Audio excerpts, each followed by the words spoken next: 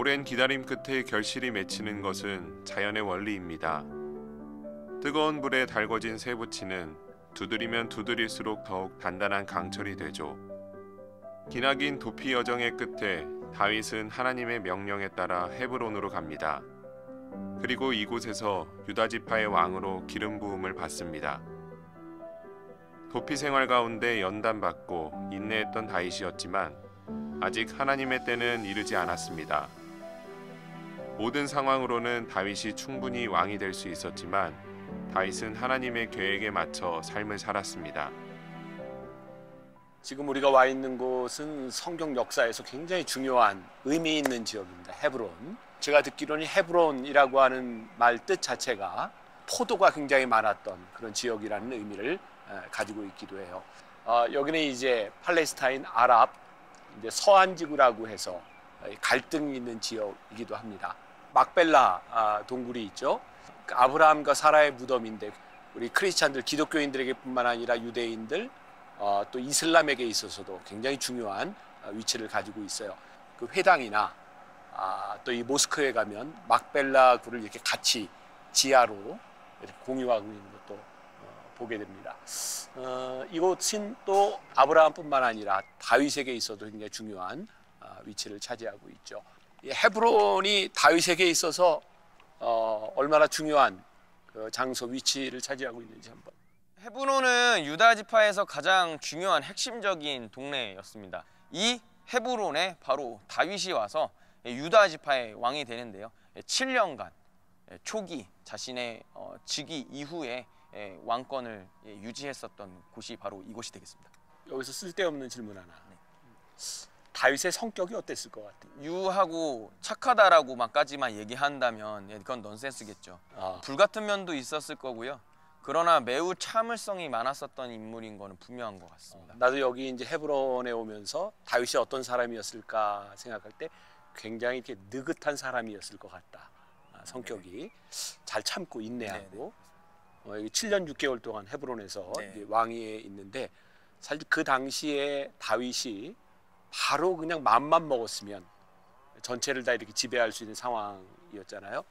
이스보셋이 북이스라엘의 왕으로 있었지만 사실 거의 아브넬이 예, 네네. 힘을 가지고 있는 상황에서 다윗이 맘만 먹었으면 전체를 통치할 수 있었을 텐데 7년 6개월 동안 끝까지 어, 기다리죠. 어, 그걸 보면서 다윗의 성격이 우리가 생각하는 것보다 아, 굉장히 느긋한 사람이었을 것이다. 느긋함이라고 하는 게 성격에서 나왔던 것일까? 아니면 하나님의 약속에서부터 나왔은 것일까? 그런 의문도 좀 있어요. 네, 아마 이제 후천적으로 광야에서 훈련 받았었던 그 오랜 시간을 생각해 본다면 예, 목사님께서 말씀하신 바와 같이 이제 선천적인 것, 후천적인 것이 이제 다 결합되지 않았을까 이렇게 생각이 됩니다.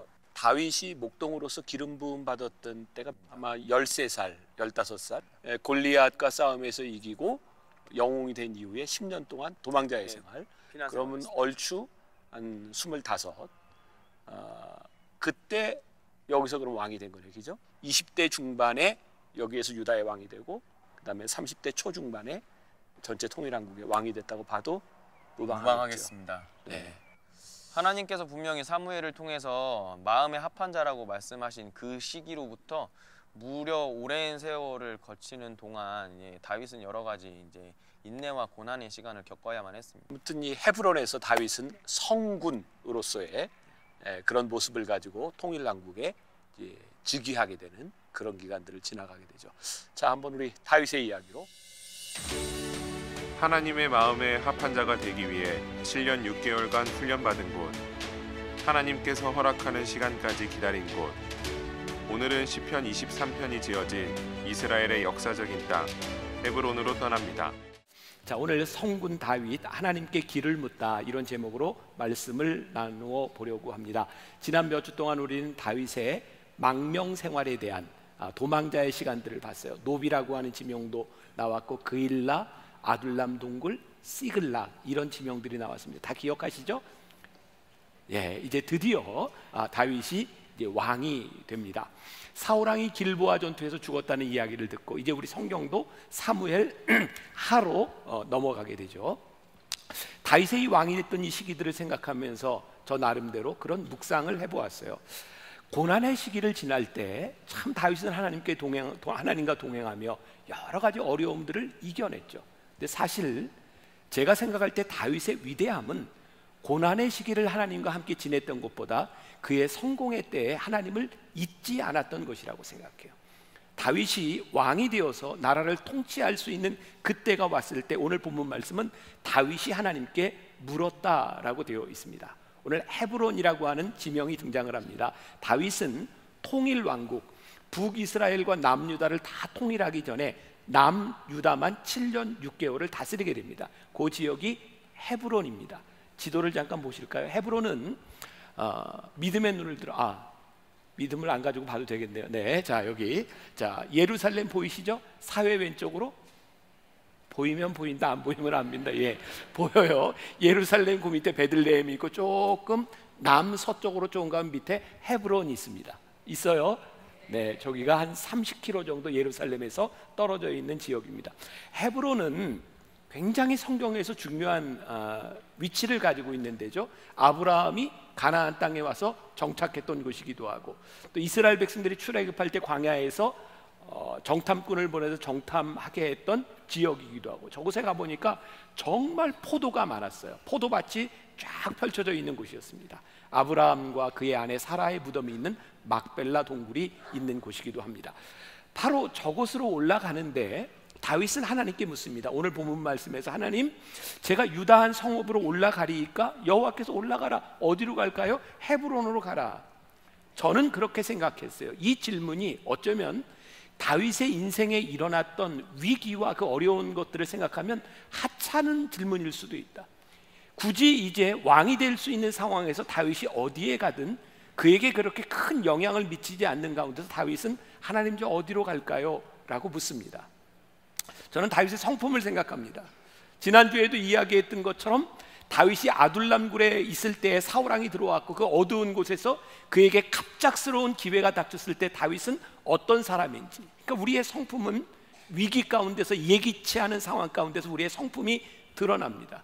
근데 정말 중요한 것 중에 하나가 우리의 성품이 드러나는 것은 어쩌면 한차는 우리의 일상 가운데서 우리가 어떤 사람인지가 드러나는 것 같아요. 오늘 이 일, 하나님께 물었던 이 일은 다윗이 어떤 사람인가를 보여주고 있어요. 우리 교회 교인 중에 한 분이세요. 이제 은퇴하고 또 의, 의사로 지금 어, 요양은 아마 원장을 하시는 분으로 제가 알고 있는데 꽃길을 걷는 삶이라고 하는 책을 그 주셔서 제가 읽게 되었는데 거기에 그런 이야기가 있어요. 하찮은 것은 없습니다. 이런 이야기입니다. 100여 년 전 평안도 정주에 집이 가난해서 부잣집에 머슴으로 와서 살게 된 한 청년이 있었답니다. 아, 그런데 이 청년은 비굴하거나 비관하지 않고 정말 열심히 주어진 하찮은 일을 했대요. 아침마다 일어나서 마당을 쓰는 일, 그리고 이제는 우리 주변에서 별로 이제 볼 수 없게 되었는데 옛날에 요강이 있었잖아요. 요강. 네, 아침이 되면 주인 방에 있는 요강을 늘 비우고 깨끗이 씻어 놓고 햇볕에 말리고 하는 일들을 그냥 늘 해왔던 거예요. 주인이 그 청년을 보면서 참 성실하다. 아, 이렇게 살기에는 좀 아깝다 생각이 되어서 그 당시에 숭실 학교를 보냈답니다. 그리고 학교를 마쳤는데 그 주인은 거기서 끝나지 않도록 더 배울 수 있도록 일본의 메이지 대학으로 유학을 보냅니다. 그 주인도 대단한 사람이죠. 돌아와서 오산 학교의 교사를 하고 오산 학교의 교장이 됩니다. 혹시 역사에 관심 있는 분들은 떠오르는 인물이 있을지 몰라요. 어, 조만식 선생님입니다. 조만식 선생님이 아, 이렇게 좋은 사람이 됐을 때 훗날 사람들이 그에게 물었답니다. 선생님, 성공의 비결이 무엇입니까? 조만식 선생님이 이렇게 대답을 했답니다. 요강을 잘 닦는 사람이 되는 겁니다. 그분에게 있어서 성공은 특별한 일이 아니라 그에게 주어진 하찮은 일을 열심히 살았던 사람이었어요. 반대로 이야기하면 우리의 인생이 무너져 내리는 것은 위대한 일, 커다란 일이 아니라 어쩌면 하찮은 일에서부터 우리의 인생이 무너질 수도 있는 거예요. 우리들의 삶에는 가고 싶은 것, 살고 싶은 것이 있고 또 가야만 하고 해야만 하는 일들이 있습니다. 말씀을 보다 그런 생각을 했어요. 만일 내가 가고 싶은 곳, 그곳이 내가 가야만 하는 곳으로 이렇게 일치가 된다면 얼마나 좋겠습니다. 기쁘게 우리들이 해야 될 일을 하지 않겠습니까? 근데 우리의 인생이 늘 그렇지 않습니다. 우리들이 가고 싶은 곳과 가야만 되는 곳이 다를 때도 있어요. 다윗은 묻습니다. 하나님 제가 어디로 가야 할까요? 저는 그렇게 유추해 봅니다. 헤브론은 어쩌면 다윗이 가고 싶었던 장소가 아닐 수도 있습니다. 왜 사람들은 똑같지 않을까요? 통일왕국의 왕이 되고 싶었겠죠. 그런데 남쪽 한 부분을 차지하라고 하는 것이 그가 원했던 일이었을까요? 근데 하나님이 다윗에게 헤브론으로 가라고 말씀합니다. 그가 가고 싶은 곳이 아니라 더 중요한 것은 그가 가야만 되는 것이 확실해졌을 때 사명자로 살아간다는 거예요. 여러분, 우리가 하나님 앞에 묻는 것, 우리의 인생의 조급함이 아니라 하나님 저 어디로 갈까요? 라고 묻는 것은 아주 중요한 일이에요. 여러분 소년 등과라는 말을 들어보셨을 거예요. 너무 이른 나이에 일찍 성공하면 위험하다는 거죠. 다윗에게도 그런 순간이 왔었죠. 소년 시절에 골리앗과 싸워서 이긴 거예요. 사람들이 다윗을 다 칭송합니다. 어쩌면 다윗은 소년 등과해서 그는 인생이 망가질 수도 있었다고 생각합니다. 근데 하나님께서 그의 인생에 훈련의 시간들을 주시죠. 10년 동안 도망자의 시간을 가게 하십니다. 그리고 다윗은 거기에서 하나님과 친밀한 관계를 통해서 왕으로 만들어져 가고 있죠. 성경은 다윗에 대하여 이런 표현을 씁니다. 하나님 마음에 합한 사람이다.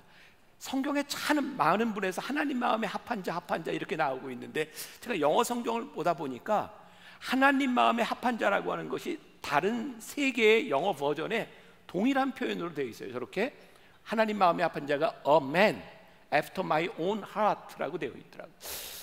의미는 뭐 뭔지 알겠는데 아 이게 좀 정확하게 어떤 의미일까? 그래서 뭐 제 아들이 저보다 영어를 잘하니까 제가 그제 이렇게 문자를 좀 보냈습니다. 아들아, a man after my own heart라고 하는 말을 직역으로 하든 의역으로 하든 나에게 좀 의미를 좀 이렇게 좀, 어, 좀 설명을 해줘라 그랬더니 하나님 마음에 합한 자요. 그렇게 보내왔어요. 여기 하나님 마음에 합한 자라고 하는 것 같기는 한데 직역을 한다면 after라고 하는 말을 보니까 my own heart, my가 누구냐면 하나님이에요. 나의 마음 다음에 저에겐 그런 생각이 들었어요. 아, 하나님 마음에 합한 자가 된다는 것은 하나님의 마음을 앞서지 않는 거구나. 하나님의 마음을 보고 그 마음을 따라가는 거구나. 다윗은 그의 인생에 원했던 것이 있지만 하나님의 마음이 무엇인지를 보고 따라갔던 사람. 그러니까 다윗은 하나님께서 세우신 사울을 죽일 수 있는 때가 왔는데 다윗은 사울 왕을 죽이지 않습니다. 다윗은 피난 중에 어려운 사람들이 찾아와서 나를 좀 돌봐달라고 이야기할 때 그 사람들을 물리치지 않습니다. 저에겐 그런 생각이 들어요. 그들을 향한 하나님의 마음을 다윗이 보았지 않았을까? 어떤 전쟁을 하든지 다윗은 하나님께 묻습니다. 에봇을 입고 하나님께 묻습니다. 그래서 하나님께서 다윗을 내 마음에 합한 자라고 말씀하고 있구나. 여러분 성경을 다 보고 계시죠? 사무엘 하루 이렇게 넘어가면 길보아선 전투에서 이제 사울과 그의 아들들이 다 죽습니다. 그때 아벨렉 사람이 사울 왕이 넘어져 있는 것을 보고 사울 왕이 죽인 것을 확인하고 그 머리에 있는 왕관과 고리를 벗겨서 다윗 왕에 가져옵니다. 그게 사무엘하 1장 10절에 나오는 얘기입니다. 다윗이요 그것을 그렇게 기뻐하지 않았습니다. 슬퍼하고 울었습니다. 다윗은 왜 그랬을까? 어쩌면 그의 인생의 고생이 끝나는 순간인데 다윗은 그렇게 하지 않았습니다. 바로 그런 상황. 그러니까 다른 군사들도 다른 모든 사람들이 보기에 사울 왕이 죽었기 때문에 다윗이 왕이 될 수 있다고 생각하는 순간입니다. 그러니까 제가 상황을 이야기하는 거예요. 다윗이 통일 왕국의 왕이 될 수도 있는 상황입니다. 그런데 그때 다윗이 하나님께 물었던 거. 하나님 제가 어디로 갈까요? 그 하나님이 헤브론으로 가라. 너를 아직 통일 왕국의 왕으로 삼지 않겠다. 저에겐 또 그런 생각이 들었어요. 하나님께서 우리들에게 말씀하실 때 우리들이 신앙을 가지고 믿음을 가진다고 하는 것은 무엇일까? 하나님께서 그렇게 말씀하시는 의도는 무엇일까? 하나님의 뜻은 무엇인가를 물을 때 우리들이 성숙한 믿음으로 나아가는 거죠. 그럼 우리들이 이런 의문을 가집니다. 왜 하나님은 다윗에게 통일 왕국의 왕으로 바로 삼지 않으시고 헤브론으로 가서 7년 6개월을 더 있게 하셨는가 생각해 보니까 아직도 북이스라엘은 사울의 막내 아들이었던 이스보셋이 있고 아브넬이라고 하는 장군이 있고 만일 다윗이 이때 통일 왕국을 이루려고 했다면 동족 간에 상잔의 비극이 일어났을 겁니다. 하나님이 그거 원치 않으셨던 거예요. 아직 아니다. 하나님께서 아직 아니다라는 이야기를 듣고 다윗은 거기에 순종해서 헤브론으로 갑니다. 여기에 다윗의 위대함이 있는 거예요. 저를 비롯해서 우리 신앙을 가지고 있는 사람들 아주 자연스러운 것이 있습니다. 뭔지 아세요? 우리는 문제가 생기면 적어도 신앙이 있는 사람이면 기도한다는 거예요. 어, 제가 수년 전 강남 금식기도원에 이렇게 매월 한 번씩 가서 이렇게 설교를 했던 적이 있습니다. 참 많은 사람들이 금식하며 옵니다. 그런데 우리의 신앙의 문제는 뭐냐면 기도하면서 하나님의 뜻을 묻고 성경을 보면서 하나님의 뜻을 알고 응답을 받고 내려오는데 우리들의 상황으로 현실로 들어오면 우리는 이렇게 얘기한다는 거예요. 그런데요. 그런데요. 그런데 말입니다. 하나님께서 저에게 말씀해 주셨지만 저의 상황이 이렇게 녹록하지 않습니다. 우리의 응답을 받은 것과 우리의 상황에서 하나님의 뜻대로 사는 것은 별개의 문제인 거죠. 하나님의 마음에 합하다고 하는 것은 하나님께서 허락하실 때를 기다리는 것이고 하나님께서 우리들에게 말씀하실 때 그것을 순종할 수 있는 삶을 살아갈 때 내 마음이 내 마음에 합한 자다라고 말씀하실 수 있는 거예요. 하나님 마음에 합한 자라고 하는 것은 우리의 믿음의 수준이 하나님을 따라가는 것이겠죠. 저는 또 이런 표현도 썼습니다. 하나님께서 우리 하나님 내 마음에 합하다라고 이야기를 하실 때 우리를 바라보면서 그런 표현을 야 너는 정말 척하면 척이다. 야 내가 이야기하는 내 의도를 네가 아는구나. 그러니까 믿음은 우리 믿음의 수준은 하나님이 말씀하실 때 그 의도들을 우리들이 파악해 나가는 거죠. 신앙이 죽이 맞으면 참 재밌을 것 같아요. 그렇지 않습니까? 하나님이 우리들에게 말씀하실 때 그것을 순종하고 인도하심을 우리들이 맡고 하나님 말씀하시고 순종하고 하나님의 뜻을 알고 그러면 죽이 맞아서 얼마나 좋겠습니까? 근데 우리는 기도하고 하나님이 말씀하셔도 그냥 이 상황이 그런데 말입니다. 아, 얼마나 우리의 신앙이 힘들겠습니까? 제가 하나 예를 들을게요. 어떤 목사님이요, 목회를 하다 보면 이렇게 실수했던 일들이 있는데 그런 실수담을 이야기하는 거예요. 이렇게 사람들이 있는 데서 어, 설교하는데 목사님이 이렇게 설교를 했답니다. 아, 니고데모라고 하는 사람이 있는데 니고데모는 신분이 세리였고 키가 작았습니다. 그런데 예수님을 무척 보고 싶었습니다. 이렇게 막 설교를 시작했는데 사람들이 이렇게 수근수근 하더래요. 목사님 생각이 야 이게 은혜를 받는구나. 더 큰 소리로 설교를 했답니다. 그때 예수님이 니고데모가 사는 동네로 들어오셨습니다. 니고데모는 예수님을 보고 싶었지만 키가 작아 볼 수가 없었습니다. 그래서 뽕나무 위로 올라갔습니다. 어, 그렇게 이제 사람들이 웃기 시작한 거예요. 이제 목사님이 이때 아 내가 좀 실수했구나라고 생각하고 근데 목사님이 기지를 발휘합니다. 그때 사케오가 나타나더니 외쳤습니다. 니고데모야 그 자리는 내 자리야 내려와라고 이야기를 했습니다. 그리고 이렇게 위기를 실수를 모면한 거예요. 근데 이 이야기가 뭔지 지금 이해를 못하는 분들도 있을 거예요. 이 이야기를 듣고 있던 그 어떤 이제 따라쟁이 목사님이 속으로 이런 생각을 다음 주에 나도 이렇게 설교를 해야 되겠다. 그래서 교회에서 설교를 하는 거야. 아, 여러분 니고데모라고 하는 사람이 있습니다. 신부는 세리였고 키가 작았습니다. 예수님을 보고 싶었지만 키가 작아 볼 수 없어서 그 사람들이 이렇게 웃어야 되는데 안 웃는 겁니다. 당황스럽습니다. 끝까지 설교할 때까지 듣는 사람이 니고데모와 사케오를 구별하지 못하고 설교를 들은 겁니다. 제가 읽은 글에서 이렇게 되어 있더라고요. 유머도 손발이 맞아야 되는 겁니다. 여러분 그런 생각 들지 않으세요? 하나님이 우리들에게 말씀하시는지 말씀하시는 그 의도를 우리들이 알지 못한다면 우리의 신앙은 역동성이 없는 거예요. 하나님의 의도를 우리들이 알고 거기에 순종하기 시작하면서 우리의 신앙의 가치들이 생겨요. 다윗은 하나님께 묻고 기꺼이 순종할 준비가 되어 있는 사람이었던 거죠. 자, 오늘 헤브론에 있는 다윗을 바라보며 저는 중요한 단어를 하나 여러분들에게 이야기합니다. 오늘 다윗의 삶을 가치 있게 만든 이 단어, 영어로는 integrity라고 하는데 우리나라 말로는 참 한마디로 번역하기가 힘든 단어입니다. 제가 미국에 살 때 공부할 때 미국 사람들에게 가장 큰 칭찬이 그런 거예요. 이 사람 integrity가 있어. 최고의 칭찬입니다. 변치 않는 사람입니다. 통전성이라고 말할 수 시종 여일한 사람입니다. 인격이 훌륭한 사람입니다.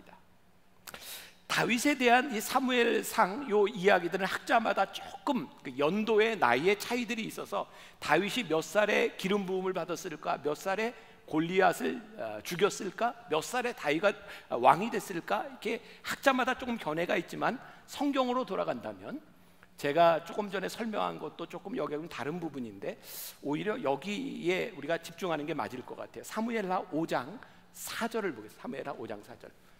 자, 같이 봅니다. 시작.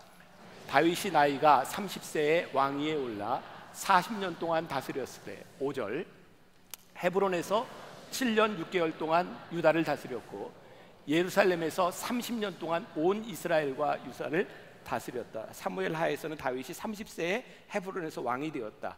7년 6개월을 다스렸고 그리고 나머지 33년을 예루살렘에서 다스렸다라고 되어 있어요. 여기엔 물론 조금 차이가 있을 수 있겠지만 이렇게 여러분들이 아시면 좋을 것 같아요. 어쨌든 다윗은 30대 초반에 왕이 되었어요. 어쩌면 그의 인생에 있어서 내가 됐다라고 생각할 수 있는 충분한 그런 시기였던 것 같아요. 근데 다윗의 인테그리티, 그는 도망자의 시간 가운데 하나님께 묻고 하나님께서 허락하지 않으시면 사울 왕을 죽이지 않았고 그런데 그가 왕이 되었을 때도 그는 여전히 자기 인생의 스케줄을 하나님께 맡깁니다. 하나님 이제 되었습니다. 이제는 내가 통일 왕국의 왕이 되어 다스릴 수 있겠습니다. 그가 정한 시간이 아니라 그가 왕이 되었을 때 사울 왕이 죽었을 때도 그는 그의 인생의 스케줄을 하나님께 맡깁니다. 그래서 다윗을 향해 느껴지는 그의 성품, 그의 느긋함 그것은 단순한 성품에 대한 문제가 아니라 그의 믿음에 대한 문제였던 것 같아요. 하나님께 순종하면서 하나님의 계획에 따라가면서 하나님의 계획을 앞서지 않고 조급해하지 않고 그는 하나님의 뜻을 따라갑니다. 사랑하는 여러분, 제가 오늘 여러분들에게 도전하고 싶은 것입니다. 저에게 있어서도 마찬가지입니다.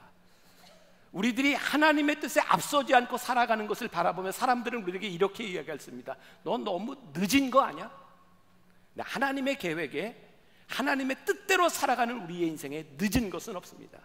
하나님은 우리를 퍼펙하게 인도해 가시는 분임을 우리들이 믿기 때문입니다. 여러분, 우리들에게 이 믿음이 없으면 하나님이 우리를 인도하신다고 하는 이 믿음이 없으면 우리는 쉽게 흔들립니다.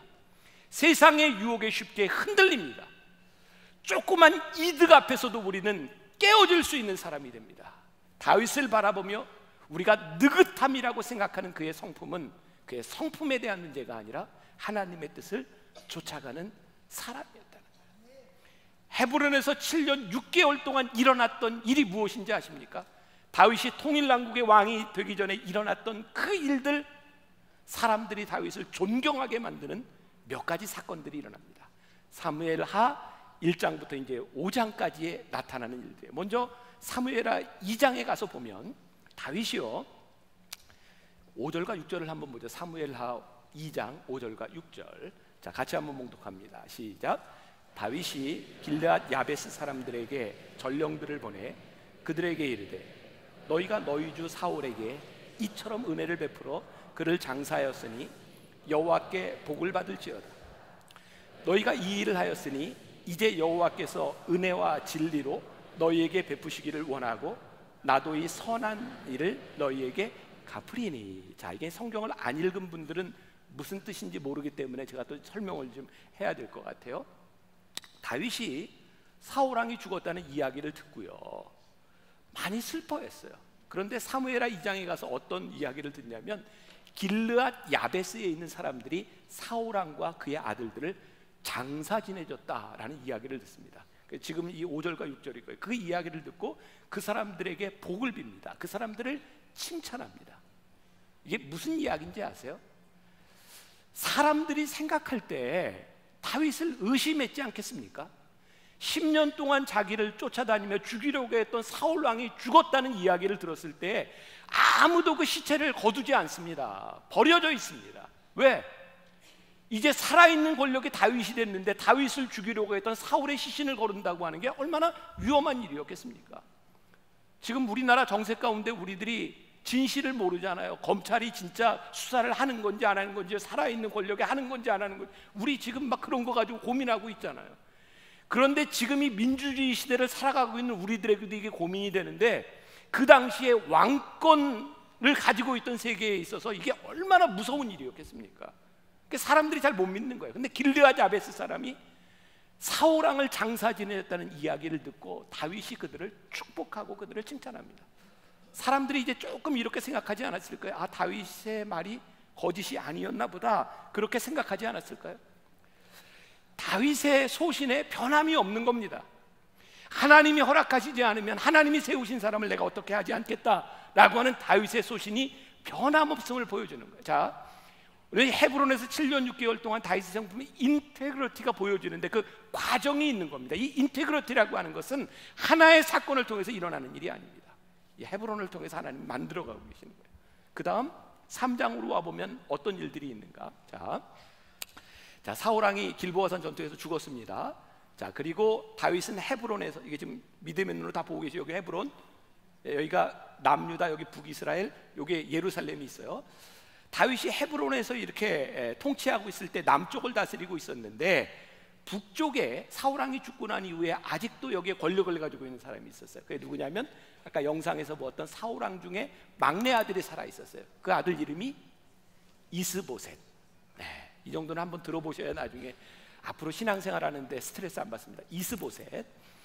그리고 이 사울 왕에게는 그가 믿고 신뢰했던 군대 장관이 있었습니다. 그게 누구냐면 아브넬입니다. 그러니까 북쪽 이스라엘에게는 유명한 장군 아브넬이 있고요. 남쪽 다윗에게는 요압 장군이 있습니다. 자, 이 정도 아시면 좋아요. 자, 북이스라엘에게는 아브넬, 자, 남쪽에는 요압. 그런데 이 아브넬과 함께 사울의 막내, 막내 아들이었던 이스보셋이 북쪽에 아직도 왕으로 있는 겁니다. 그러니까 하나님이요 피를 흘려서 통일하는 걸 원치 않으셨어요. 그래서 기다리실 겁니다. 자 사무엘하 3장 자 이제 나오는 이야기인데요.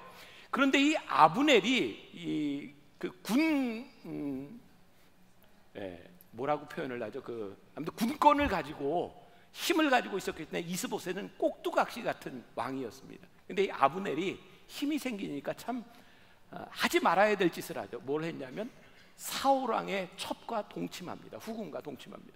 그러니까 이스보셋 아들의 입장에서 봤을 때 아버지의 후군과 동침하는 저 아브넬을 어떻게 보고 있습니까? 그래서 뭐라고 책망합니다.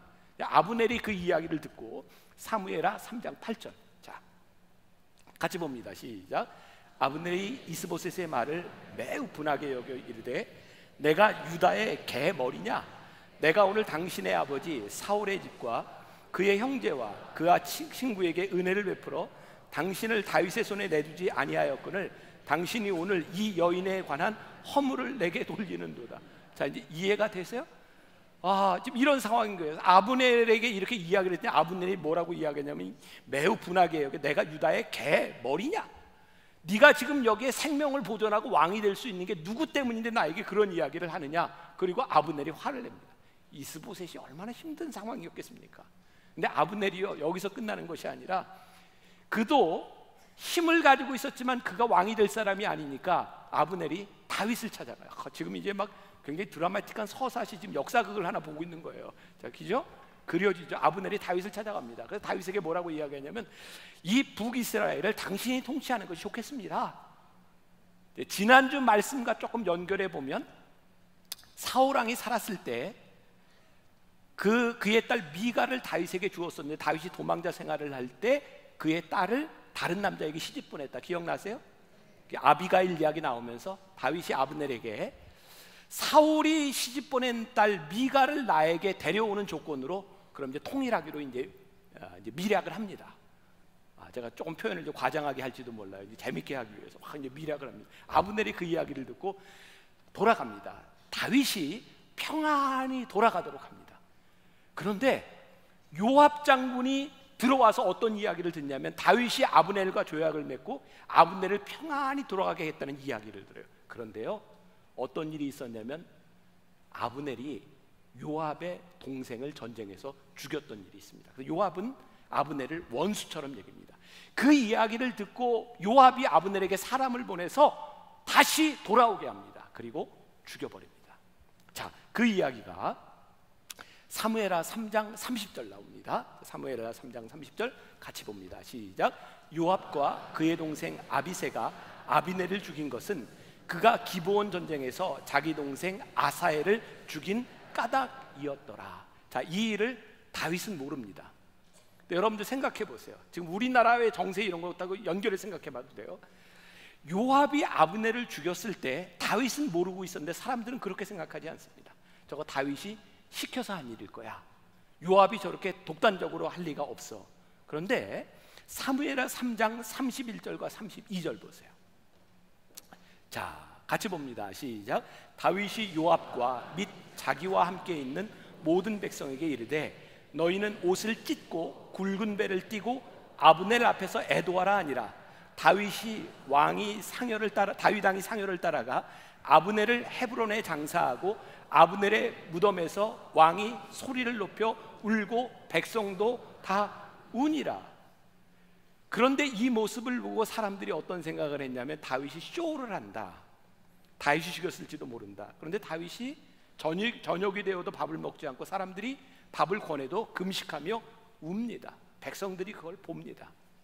자, 사무엘하 3장 36절과 37절 온 백성이 보고 기뻐하며 왕이 무슨 일을 하든지 무리가 다 기뻐하므로 이날에야 온 백성과 온 이스라엘이 내레 아들 아브네를 죽인 것이 왕이 한, 한 것이 아닌 줄을 아니라 다윗의 인테그리티가 이 사건들을 통해서 사람들에게 증명되기 시작합니다. 다윗이 성군이 될 수 있었던 시간들은 그냥 되어진 것이 아니라 7년 6개월 동안 헤브론에 있으면서 하나님이 그를 만들어 가신 시간이었어요. 자, 마지막 사건 아브넬이 죽었다는 이야기를 듣고 이제 사무엘하 4장으로 넘어가면 이 이야기가 북에 있는 이스보셋에게 전달이 됩니다. 여러분 이스보셋이 아브넬을 책망하고 그에게 모욕을 당했지만 북이스라엘에 유지되고 있었던 절대적인 이유는 아브넬이 존재했기 때문입니다. 아브넬이 죽었다는 이야기를 듣고 성경에 보니까 사무엘 하 4장 1절에 그 소리를 듣고 이스보셋의 손에 맥이 풀렸다. 그리고 침상에 누워 있는 것을 당시 군대의 지휘관이었던 바하나와 레geb이라고 하는 사람이 이스보셋의 목을 자릅니다. 침상에서 목을 자라서 그 목을 들고 다윗에게 찾아가요. 이 사람이 어떤 생각을 했을까요? 이미 아브넬도 죽었고 북이스라엘이 이제 끝난 거예요. 그러니까 이 정황을 볼 때 사람들이 볼때 이게 다윗이 왕이 되는 게 충분한 거예요. 그래서 목을 베어 가지고 갔는데요. 다윗이 목을 가지고 온 바하나와 레geb을 죽입니다. 내가 이것을 보고 기뻐할 줄 알았더냐? 다윗은 그렇게 피 흘리는 왕이 되는 걸 원치 않았고 하나님이 허락하시는 때에 왕이 되는 것을 기다리고 있었던 사람이었던 것을 보여주죠. 그래서 이스보셋을 아브넬 옆에 장사 지냅니다. 그리고 웁니다. 요나단을 생각하고 사울랑 하나님이 기름 부으셨던 그 사람을 생각하며 다윗은 웁니다. 사람들이 그걸 다 봐요. 다윗은 좋은 사람이구나. 하나님께서 다윗을 만들어 갔던 시간들이 바로 헤브론에서의 7년 6개월의 시간이었습니다. 사랑하는 여러분, 여러분들의 제가 도전하는 겁니다. 우리가 믿음으로 살아간다고 하는 것, 그것은 하나님의 인도하심을 믿으며 살아가는 거예요. 여러분, 헤브론에서 다윗이 왕이 되고 난 이후에 통일 왕국의 왕이 되기 이전에 다윗이 믿음으로 고백했던 유명한 시가 있어요. 시편 23편입니다. 여호와는 나의 목자시니 내게 부족함이 없으리로다. 헤브론에서 왕이 됐을 때 다윗에게 부족함이 없었을까요? 아닙니다. 아직 그에게는 부족함이 있었습니다. 그가 이렇게 고백합니다. 그가 나를 푸른 초장에 누이시며 쉴 만한 물가로 인도하시는도다. 그가 지금 쉴 만한 물가에 있을까요? 아닙니다. 아직 그는 쉴 만한 물가에 있지 않았습니다. 그는 원수의 목전에서 상을 베푸시는 하나님을 그는 경험했고 원수의 목전에서 하나님이 상을 베푸실 것이라고 하는 믿음을 가지고 있었어요. 시편 말씀 이 성경은 현학적인 시가 아닙니다. 삶의 고백이고 믿음의 고백입니다. 헤브론에서 우리는 다윗이 어떤 사람인지를 분명히 보았습니다. 그래서 예루살렘에서 왕이 될 그의 인생이 더 기대가 되는 거예요. 하나님 어떻게 할까요? 오늘 여러분들이 물어야 되는 겁니다. 하나님 어떻게 할까요? 근데 우리들이 이런 믿음을 가지고 대답해요. 여호와는 나의 목자시니 내게 부족함이 없으리로다. 우리가 이 시편 말씀을 이제 찬양으로 어, 들으려고 하고요. 오늘 다윗의 이 상황들을 여러분들이 생각하면서 하나님께 길을 물었던 다윗 여호와는 나의 목자시니 내게 부족함이 없으리로다. 이 믿음 안에서 여러분들이 물어야 합니다. 지금 여러분들의 상황에서 하나님 저 어떻게 할까요? 하나님 저 어디로 갈까요? 하나님 저 무엇을 할까요? 그리고 여러분들이 그 말씀에 순종할 수 있을 때 우리는 이 믿음의 길을 갈 수 있어요. 우리 한번 이 찬양을 우리 다윗의 심정으로 찬양으로 들었으면 좋겠습니다.